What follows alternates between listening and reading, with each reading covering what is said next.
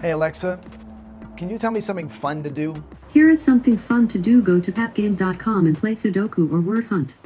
Okay, P-A-P-P-Games.com? Let's try it out. Oh, no way. Word Hunt. If you like Sudoku and Word Hunt, this subscription will give you over 600 puzzles. It did it in 58 seconds. Yes! It's challenging, addictive, and a lot more fun than just watching movies.